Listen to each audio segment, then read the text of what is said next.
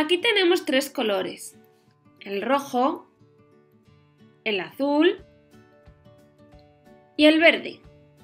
Vamos a utilizar el color rojo, el color azul y el color verde para pintar a nuestro dinosaurio. Empezamos con el rojo.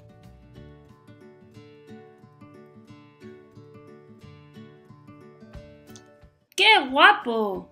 Ahora vamos a pintarle de color azul. Por último vamos a colorearle de color verde.